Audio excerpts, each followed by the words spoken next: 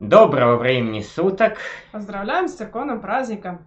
Святые память которых в этот день празднует Святая Православная Церковь. Молите Бога о нас!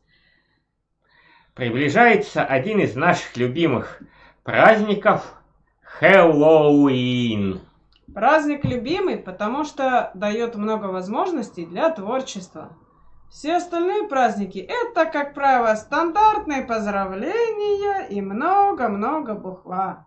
А Хэллоуин предполагает именно вечеринку в тематическом антураже.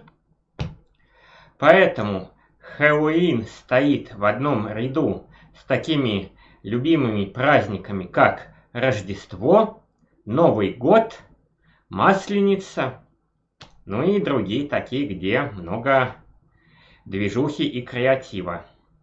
Да. Но если в упомянутых праздниках антураж уже сформировался и даже успел надоесть, то Хэллоуин лично для нас, да и, наверное, для всех россиян, довольно новый праздник, и это дает большие возможности для творчества. В первую очередь, потому что это предполагает костюмированное действие.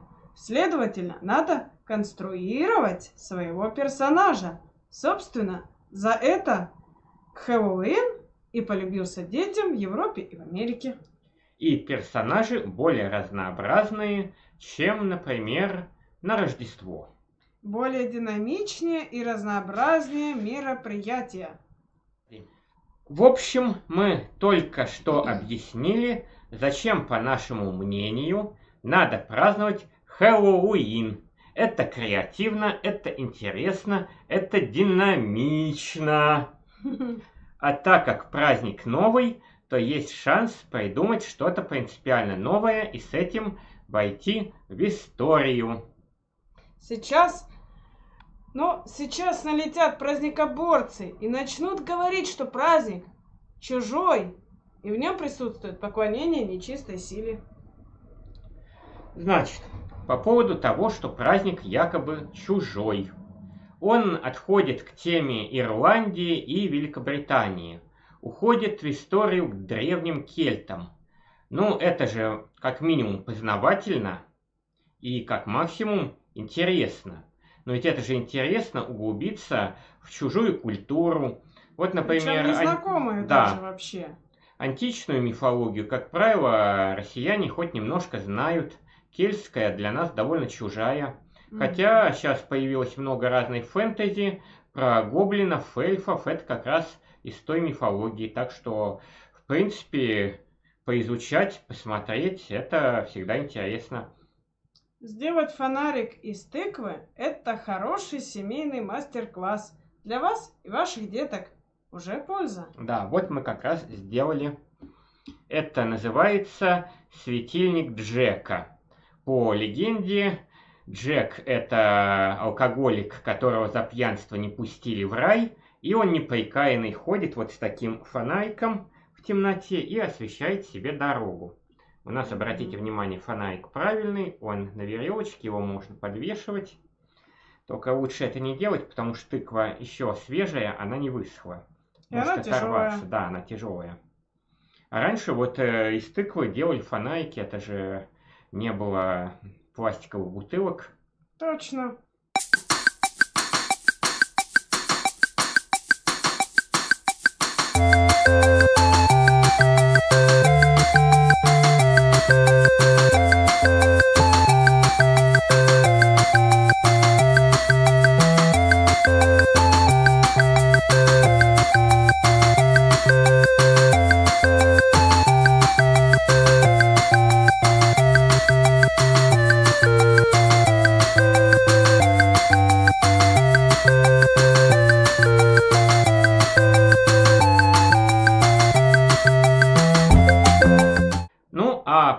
Нечистую силу, так э, не забывайте, что в древности праздники имели религиозную составляющую, а сейчас этой религиозной составляющей нет.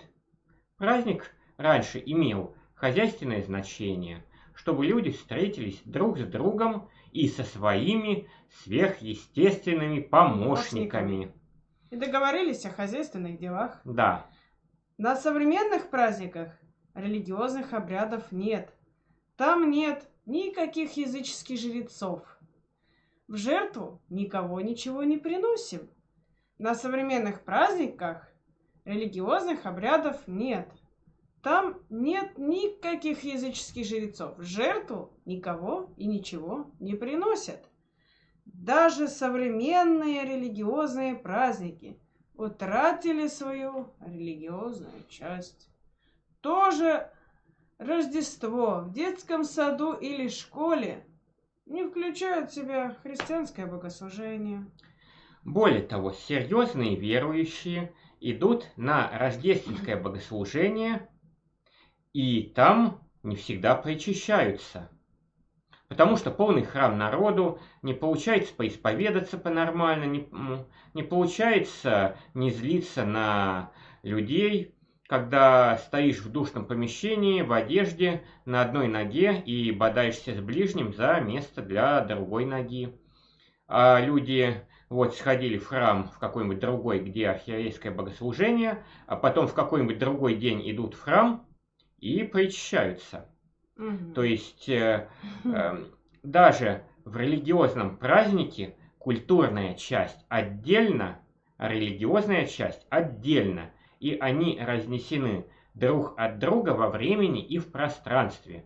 Тоже Рождество празднуем отдельно, где-нибудь в школе, где-нибудь в детском саду, или дома, или в гостях, или в клубе, в ресторане, а Да. религиозная часть в храме, Да. причем в другой день. Бывает и так. А Хэллоуин даже официально заявлен как светский праздник. Неважно, что когда-то там было язычество, потом христианство, сейчас это светский праздник.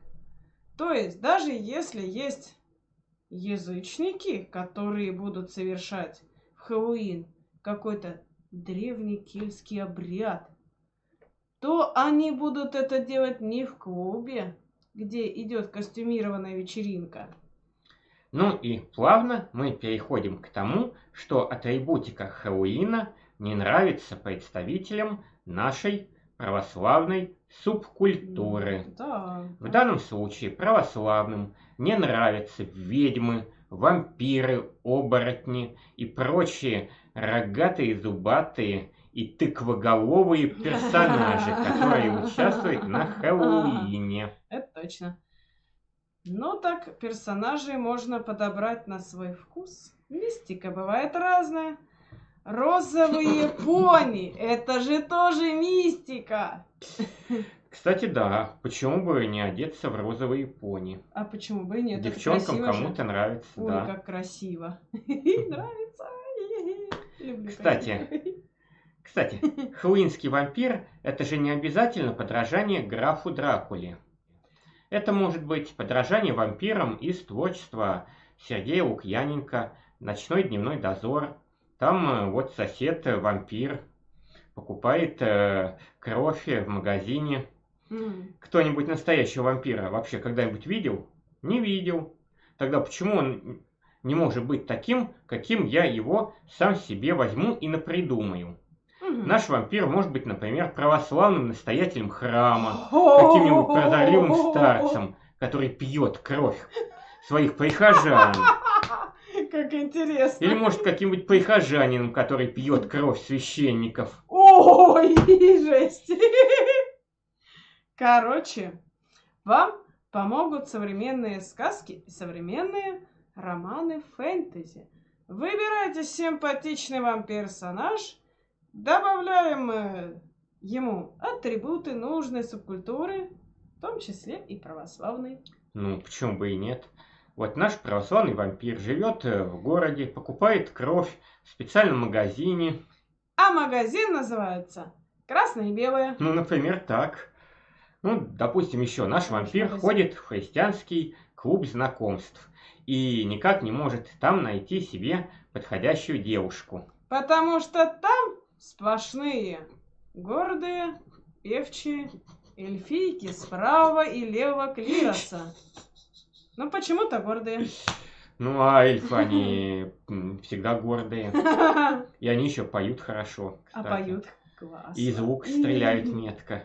Здорово. Это будет, кстати, не только креативно, но и полезно с точки зрения психологии. Потому что Да. персонаж может быть наделен и, скорее всего, будет наделен чертами характера ну, хозяина этого персонажа. Разумеется, западные психологи это давно заметили, поэтому подготовка к Хэллоуину – это просто рай для психолога. Так что очевидная польза от Хэллоуина – это своеобразный психологический тренинг. Кстати, если смотрите какие-нибудь американские или английские семейные фильмы, то как раз там тема подготовки к Хэллоуину это как раз для всей семьи мастер-класс, там эти костюмы готовят, это придумывают, фантазируют. Так что Ну. чем мы хуже? Итак, придумали персонажа, но он же должен не тупо сидеть за столом, бухать, глядя в смартфон. Надо придумать какую-нибудь движуху, какое-нибудь действие. Это опять психология. Из серии «Создай мир, где живет твой хэллоуинский персонаж». Придумай взаимодействие своего персонажа с другими персонажами. Ну, ролевая игра А получается. она самая. В общем, подведем итоги. Собственно, вот краткий конспект, сейчас мы вам перескажем, как праздновать Хэллоуин в рамках нашей православной субкультуры и с сохранением всех атрибутов исходного праздника. В первую очередь признаем для себя, зачем нам это надо. Чтобы культурно и креативно повеселиться в тематическом антураже. Да, вот мы собираемся веселиться и тусоваться, а не проповедовать христианство. Ну или свое понимание христианства. Кстати, насчет проповеди христианства на рок-концертах, и на Хэллоуинах и где только можно, а точнее где только не нужно это делать. Вот, например, в 90-х и 2000-х годах была такая мода, вот некоторые священники, в общем, пытались проповедовать, пытались что-то христианизировать Хэллоуин, и ничего хорошего из этого не получилось. Мы призываем не повторять их ошибки, особенно православным, кто любит миссионерить. Мы не проповедуем, мы не вкладываем в праздник христианский смысл. Мы именно весело и креативно проводим время в приятной и интересной для нас обстановке. Имеем на это полное право. Мы Да. свободные люди. Не надо пихать проповедь христианства или нравственности, где надо просто развлекаться. Вы празднуете для себя и для своих друзей, а не для высоких идеалов. Итак, мы определились, зачем мы будем праздновать, и теперь начинаем создавать тематическую праздничную атмосферу. Читаем и смотрим, кто как празднует Хэллоуин. Ищем то, что вам нравится и что вам доступно. И обратите внимание, смотрим не как в древности праздновали, а как сейчас празднуют. Потому что даже 20 лет назад Хэллоуин могли праздновать иначе. Сейчас гораздо больше у нас и креатива, и атрибутики, и опыта этого самого празднования. Да, То есть смотрим, какие атрибуты, какие аксессуары, как одеваются, какие слова, какие поздравления говорят. Что какую да, музыку слушают. Да, выбираем то, что подходит нам.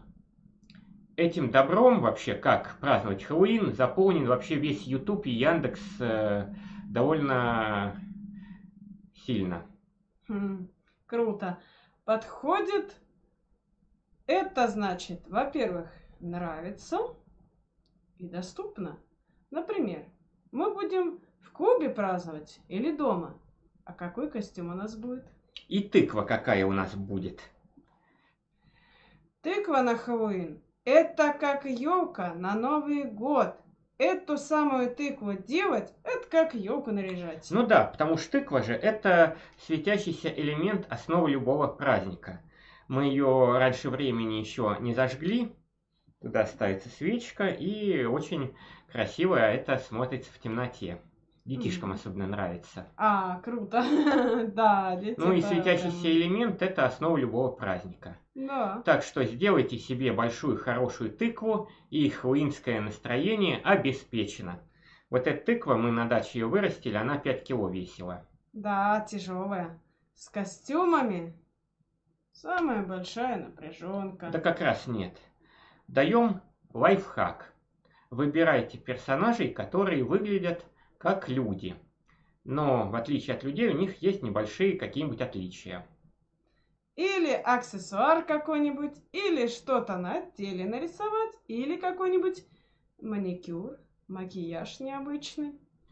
Да просто одеться так, как вы никогда в здравом уме не одеваетесь обычно. Вот, например, какая-нибудь регенша с правого клироса, которая всю свою церковную жизнь одевается как женский персонаж из книги, из книг Лидии Чарской, впервые в жизни наденет какие-нибудь красные чулки в сеточку и короткую-короткую мини-юбку, А, которую там в пункте раздачи гуманитарной помощи забраковали и велели вынести на помойку. Ну а она взяла к себе как хэллоуинский костюм.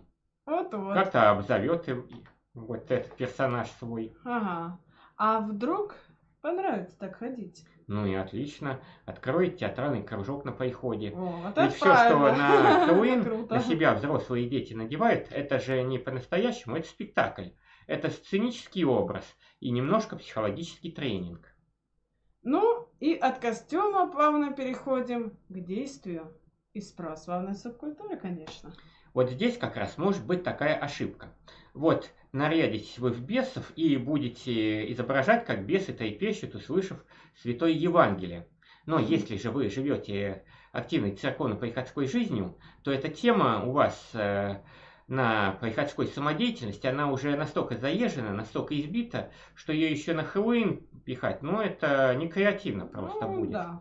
Гораздо то. интереснее, полезнее будет. Ну вот, и с креативной точки зрения, и с точки зрения психологии, и с точки зрения даже познания вашей веры православной, если вы изобразите из себя каких-нибудь православных вампиров или православных эльфов. Вот придумайте. Вот э, Какие почитали у вы, них могут да, быть грехи? посмотрели вообще, кто такие эльфы по той же Википедии, по каким-нибудь фэнтезийным романам, как они живут.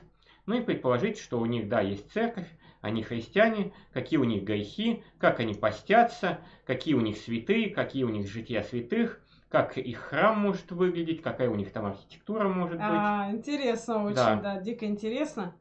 Не факт, что получится. По крайней мере, интересно поразмышлять на эту тему. Ну и опять же, всегда полезно посмотреть хэллоуинские ролики на ютубе. Мы в прошлом году посмотрели очень много семейных, как мама, папа, там детишки э, играют в разные мистические персонажи. Там у них там что-то мяукает, э, там э, что-то рычит. Они там что-то ищут, какие-то квесты там по квартире, по даче устраивают. Ну, в общем, и выбрать для себя что-нибудь и добавить своего. Главное, чтобы вам было интересно. Вы работаете не на публику, а в первую очередь на себя. Да, чтобы вам было интересно, удобно и весело. Ну, в общем, да. И в заключение расскажем про себя. Как мы праздновали Хэллоуин. Ну, в прошлые годы. Значит, впервые мы созрели до празднования Хэллоуина в 2018 году.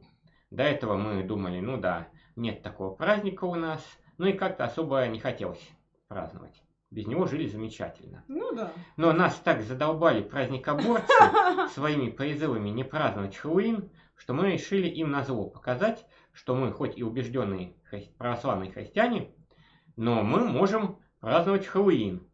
Причем так, ну, в общем, во многом даже с той целью, чтобы наши друзья и знакомые не подумали, что мы поддались на эту глупую и агрессивную пропаганду праздникоборцев. Ну, не симпатичны они нам. Мы не любим, когда нам навязывают, что нам делать. Не учите как нас, не учите нас, как нам надо жить, и мы не скажем вам, куда вам надо идти. Ну, вот такой принцип любим Ну да, да. Мы тогда просто оделись в черное, наелись сладости, выпили сладкое вино и в течение ночи пересмотрели любимые фильмы. Ви с Натальей Вали... Варлей. Эм, сейчас. Ну, Ви вот этот с Натальей Варлей, потом «Ночь перед Рождеством» мультфильм, а тыкву мы Ну, купили... тыкву просто Мы съели. ее просто съели. У нас была маленькая тыква, мы ее пытались э, вырезать что-то, она у нас развалилась вся, и мы поэтому ее просто запекли в духовке и съели. Ну, это точно. Тыквы у нас не было в 2018 году. Но вот уже на следующий год мы сделали светильник из тыквы. Правда, он был маленький. Мы его сделали немного неправильно. Мы сверху здесь срезали, дырку сделали там. Поэтому ее нельзя было вешать. Она была у нас такая маленькая. В общем, мы потом записали тематическое видео на тему Хэллоуина. С с- Там мы использовали страшилки православные с юмором, как православные боятся звуков интернационала и мумии товарища Ленина. А, причем именно православные активисты. Ну, всякие православные. А в этом году мы надеемся в хэллоуинскую ночь выйти в прямой эфир и будем развлекаться вместе с нашими зрителями. Да, ну надо же использовать то, что у нас теперь работает стрим, Мгм. хоть и проблемы бывают периодически, но тем не менее работает. Ну и напоминаем, что Хэллоуин празднуется в ночь с 31 октября на 1 ноября. Это вот по нашему стилю, если Мгм. Не бойтесь впервые отпраздновать этот праздник. Не пожалеете, если останетесь живы. Хэппи Хэллоуин! Веселого всем вам Хэллоуина! Ну, в общем, надеемся, что наше видео вам было полезно. Ну и мы прощаемся с вами. До свидания. До встречи в Спасибо следующих за видео. внимание. Да, до встречи в следующих наших видео. Ставьте Спасибо. лайки, пишите комментарии и предлагайте идеи относительно того, как весело и креативно отпраздновать Хэллоуин в традициях православной субкультуры. До свидания. Спасибо за внимание.